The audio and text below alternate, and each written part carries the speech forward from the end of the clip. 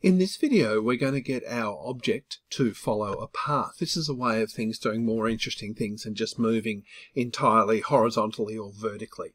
And it can make your game feel a little bit more organic.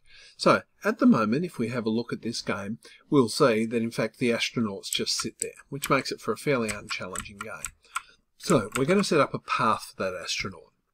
So you'll notice over on the side here, I've got a section for paths and I'm going to create a path to sit in that folder and it opens it up for me. So what I'm going to do is this is actually quite big here. This is thousand and something. So I'm going to zoom in a bit to, um, to work in a slightly smaller area and I'm going to put points. Now you'll notice that they're joining up and I'm going to press it as a smooth curve. There you go. So this is the path that my astronaut is going to follow. Now, when I get to the end, I might want it to rejoin where it started, and that's where I press closed. So it's creating that shape, which I admit looks a little bit like a racetrack, um, which it's going to follow. So I'm going to call that path underscore astronaut. There we go.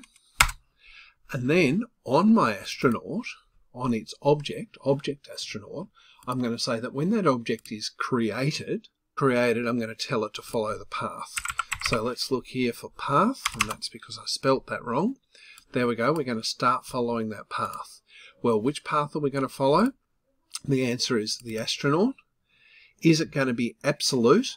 Uh, the answer is no. Absolute means that it would be exactly those pixels where we've drawn them on the screen and here is the speed that it's going to be moving at. So let's have it moving quite quickly. At the end, it could just stop and sit there, but I'm actually going to get it to go in a loop so that it just goes around that circuit forever and ever. Now, let's give that a play.